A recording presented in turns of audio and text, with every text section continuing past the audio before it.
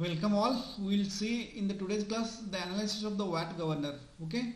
How it works how the constructions how its principle last in general we have seen what is the function of the governor and uh, uh, why it is used. Uh, also we have seen the classification of the governor in the last class okay? In the today's class we will see uh, that classifications we further extend and uh, among among from that see the watt governor is classified into two categories. That is the centrifugal governor and other one is um, uh, inertia governor. Okay? And let me check the video is recording or not. Yes it is recording. Okay okay we'll move on to the this topic. Okay in the today's topic we will see the watt governor. Okay the construction of the watt governor the, the analysis part we will see. Also that there are certain limitations we have see this is what the first type of governor right? Means the governors governors governors classified as two categories right? That is one is centrifugal and the other one is the inertia right? Which is not in our syllabus so we need not study of this governor. In the centrifugal again there is a pendulum type right? And in the pendulum type pendulum type the watt governor comes right? Here the watt governor is there.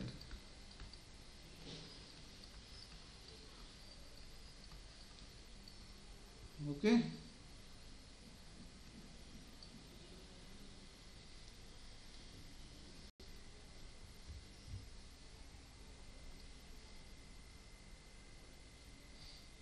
let me take this eraser as small portion yes this I'll erase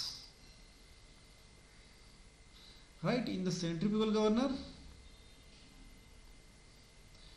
the pendulum type and pendulum type it is a watt governor which we are going to study in the today's class. Okay now see uh, this is what uh, let me this the animation and part I will show you please see this so that you will get the idea overall idea about this.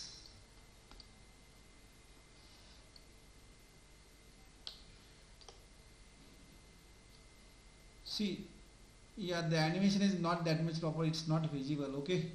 I think it's uh, now yes now it comes right.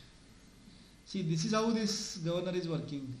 See once again I will extend this C here. There is a movement of this sleeve okay you I have already ex explained this in in my last class right? And this is what the watt governor looks like. Okay this is what the construction of the watt governor. Let me write it. Watt watt governor.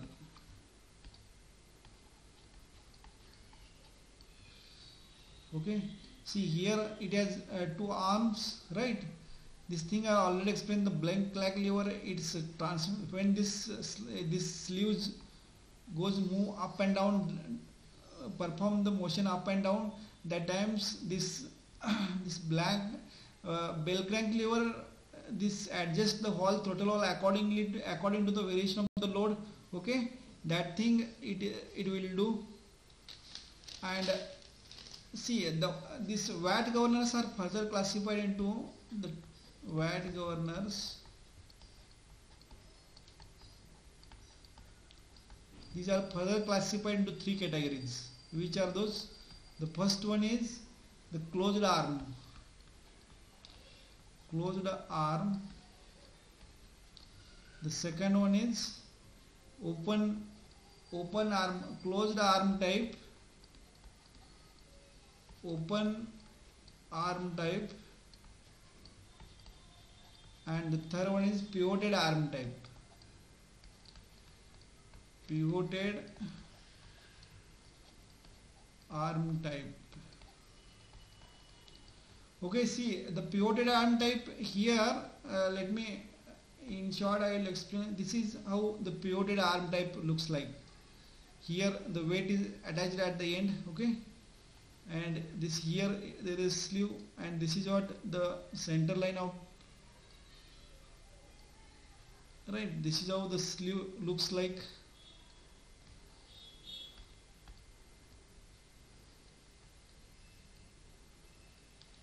Right here it is attached okay the balls are attached at this place. Here the weight is attached the balls are and here it is a fixed right? And it is rotated like this. This is what the spindle. Let me instead of making it dotted let me make it dark because it is a spindle right? This is what the spindle right? And here the bell cranks are attached, attached in this. When it performs up and down motion right? The bell crank lever transmit the signal to the throttle valve and it's regulate the supply of the fuel. This is how the pivot. In the open arm type the, there is a little difference. See here instead of cutting uh, mounting here instead of this it has li little bit taken it down like this. And like this the construction of this open arm. Okay and this is what the spindle. Spindle at the center. Okay this is how here the ball is at here. Why this highlighter is not coming here? Yes now I think right? Here at the end here the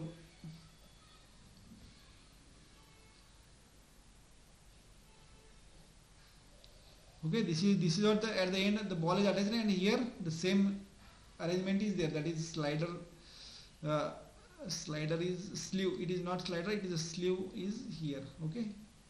It's a I shaped sleeve and when it starts rotating spindle right this is how the see instead of attaching this point the open arm arm type this point. So this is all the pivot arm type. What is looking like okay? There are two stoppers also because uh, when it moves uh, this sleeve moves up and down right? Then it has to certain limits right? It that's why the stoppers are also attached over here. Okay guys? Then now we will see the construction uh, the the analysis part of this uh, watt governor okay? See let me uh, draw first construction for this. This is not the main spindle okay? Let me take in this side so that the same thing in the analysis part I will do here. This is what the spindle. Okay on the spindle at this one end of the spindle these are the two arms which are connected okay? And this arm is extended like this. These are the symmetric eh? totally. It's not looking symmetric but it, it has it must be symmetric. Okay let me take one the shape here so that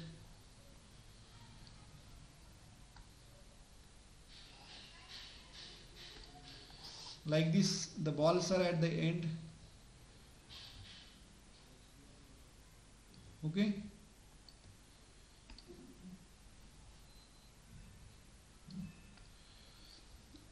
and this is a sleeve where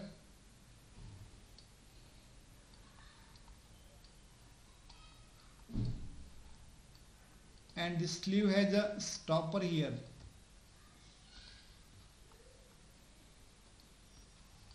Here there is a stopper me take this directly in order to show the stopper.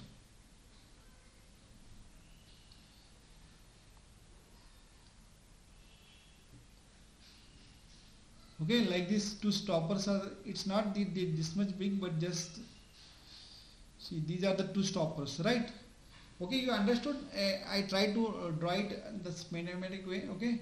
See now we will start the analysis for this. This is what the omega angular speed how it is getting you know that thing I already explained you. From the engine the bevel gauge attached and the bevel gauge directly attached to this uh, spindle okay? If engine starts rotating this automatically this spindle starts rotating with omega angular velocity right? And this is what the alpha this I will call it as alpha okay? This is alpha this angle is alpha okay? And see the weight of this ball is acting downward that is mg. This is what the weight. And the one that is the centrifugal force when it starts omega then centrifugal force will come. That is fc is equal to m r omega square. This is what the centrifugal force right? Uh, right now i will extend this line. I have to take the moment. That's why i will take the extend line like this okay? For this point i will i will take the moment. That is a okay this point i will call it as a b this point and the other point that is this point is my c. Okay? Now now what for the equilibrium of this rotation for now I am going to balance the for equilibrium for equilibrium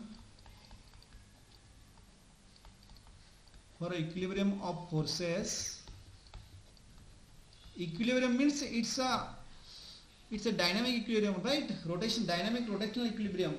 So uh, summation of m about point a should be equal to 0 right? Dynamic equilibrium it's in because there is no force the net force is 0 or net moment is 0 you can okay the clock this the clockwise i will take it positive okay? See about this point i am taking right?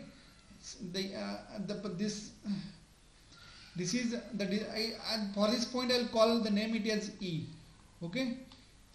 This point is E and this angle is alpha because see this angle I have considered alpha then this angle is also alpha right? And now I will balance that is FC that is mr square mr omega square. I am taking moment about this point A mr omega square into this perpendicular that is a BE right?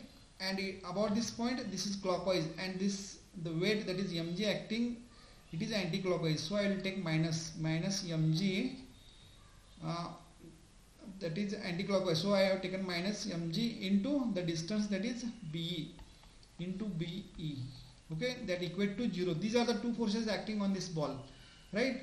This is what just the equation you have to write. From this see the m m get cancelled here. Okay the what you will get r omega square r omega square is equal to uh, uh, this is uh, like me this is this is also b and this is also this is this is a.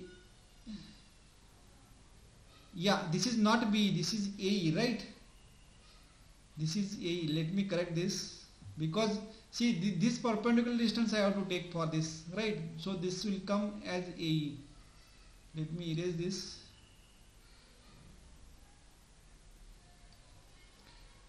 okay. A right?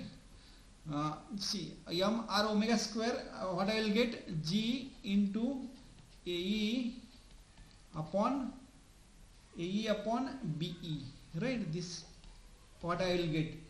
And you know this ae upon be since from this triangle ae upon be is equal to see if I taken this is what the height of the governor. Let me take this is at a height. And this from this center to here this is what the R that is the radius of the governor. Okay? See from the triangle you can easily see this AE uh, this AE is this R this R and this AE are equal right? Means it is R divided by this BE is where is BE this is a B. B and H are both are equal right? Means B is equal to H. So I'll this equal to this tan tan alpha right? The ratio is equal. The R by H ratio is equal right? Uh, once I put this value R by H in here I, what I will get? R omega square is equal to g into r divided by h. R r will get cancelled here right? From this what i will get? The height of the governor that is h is equal to g by omega square right? This is what the height of the governor i will get g by omega square. This is this this is for watt governor and this is a very important formula. Now you extend this you know omega is equal to omega is equal to uh, where it's a fourth slide right? Omega is equal to 2 pi n by 60 right? If I put this omega n here then what I will get? The 2 pi n by 60 h let me insert the new in the I will put this in the new page. H is equal to g by omega square. Since omega is equal to 2 pi n by 60 okay now I'll put this value h equal to g by 2 pi 60 right? Square into uh, this n square. Okay and see this is what the constant right? And if I calculate this I will get the answer uh, 895 you can check with your calculator also. So the height of the governor is a function of this speed that and one constant that is 985 and divided by n square. Okay you understood. This is what the important formula uh, for the governor. Okay. Now we will see one example. This is for watt governor. Watt governor and in the exam there there will be directly asked question from this. So you have to keep this formula in mind okay? Means the height of the governor is 8, uh, 895 divided by n square okay? Now we will see one example on this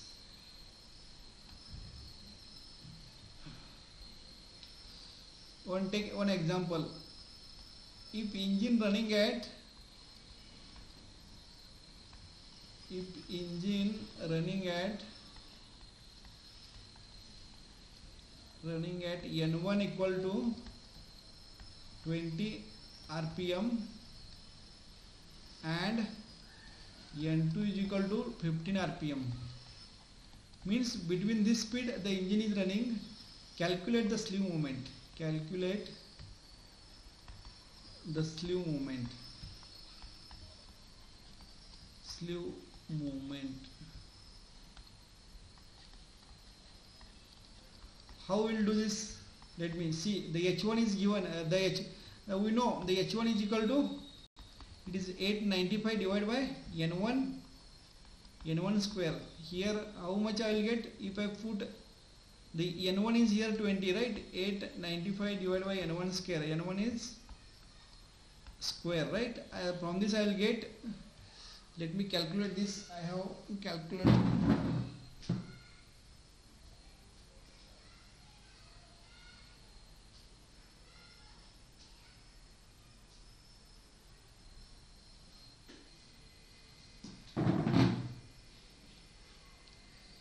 see you have to use here one app also. There is for this is what the app works how it see this is what the you have to use this calculator. Install in your mobile this calculator okay?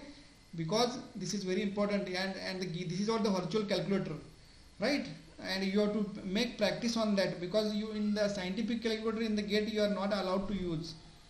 895 divided by 400 right 20 square is 400 see here I am getting it is 2.237 this is what the h1 height okay? It means at the level of the height at this uh, 20 rpm okay? And the h2 now will calculate. H2 is equal to 895 divided by n2 square right? It is 895 divided by 15 square you, once you calculate this I have already done this. It is a 3.977 meter okay? This is how see now I will explain you in this. See this is my uh, governor right? This is the arm of the governor right? This is at one certain position.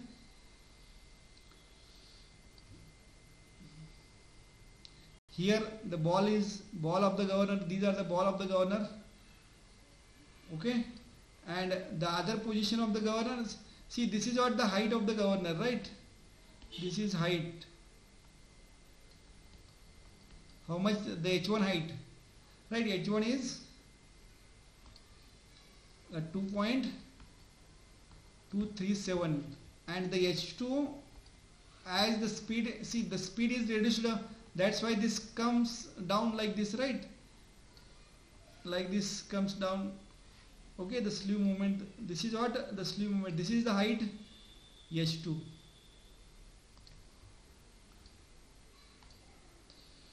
the h2 is here. That is this is 3.977 means now from this I can calculate the sleeve movement sleeve movement is h1 h2 sleeve movement is h2 minus h1 minus h2 sleeve movement sleeve movement.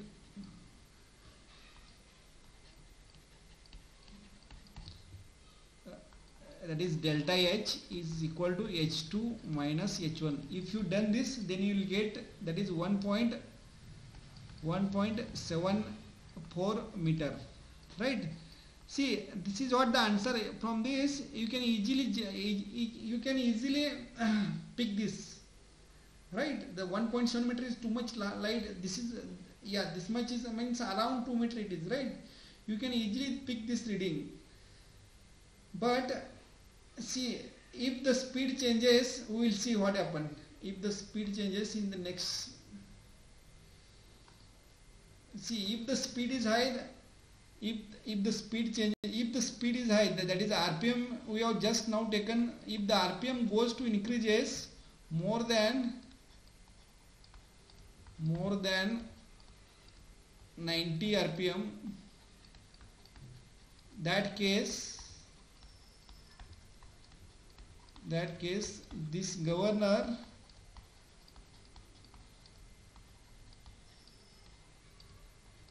is not sensitive. Means the, the uh, if rpm go, goes increases then what happen that case it will not uh, sense that much means the value the delta h the sleeve movement is coming very less right? Delta h is coming very less. If this is less then you cannot speak or you, you cannot uh, see that easily right?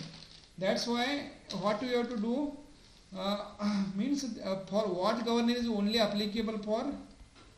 What governor? Is only used at low speeds. This is what the disadvantages of the watt governor okay?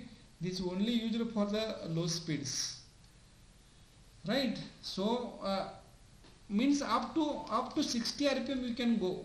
The n equal to 60 rpm beyond that you cannot use this 60 rpm right? So in so for the higher rpm there is a another governor which is the porter governor. We will discuss it in the tomorrow's class which is used for higher speed also. That is porter porter governor. Okay? And this we will discuss in the tomorrow's class. This is what all about the watt governor you have to remember right this is in the next class we will see okay? Yes then uh, we will see the analysis of the Porter governor. Okay guys? Uh, please before closing the class I request you guys please like share and comments. And don't forget to subscribe my channel. Okay and thank you